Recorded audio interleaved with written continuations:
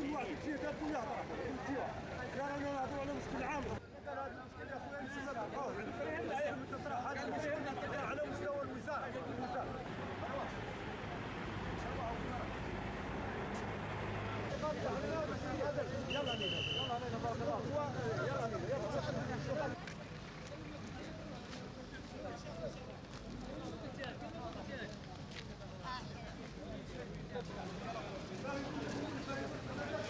المطالبة اللي رانا نطالبوا بها أولا نعالجوا هذا الإشكال.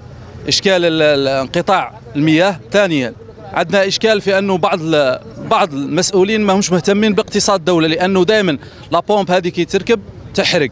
مش عارف أنا هل الاختصاصيين راهم يركبوا فيها؟ ولا كل من هب ودب. راه صار عندنا مشكل في السواني تاع المشكل تاع المضخه راه في 12 يوم حرقة. وعاودوا لنا البومبا بومبا شيناء رانا في 12 يوم لا ماء ما كان تحيه عندنا التريسيتي ضعيفة. وعندنا شوف ثاني العساس كي يغدا خدام يطلقها نص ساعة ويطفي. واحد يسقي فيدون والآخر يغدا قاب سبحان الله ثاني. خدام خالص عليها يا أخويا يطلق الناس وقت. كاين الاحياء كاين الأحياء اللي راهم نص والله خير الليل والله ما يقطع عليه الماء. راناش نطلبوا في حاجة مستحيلة.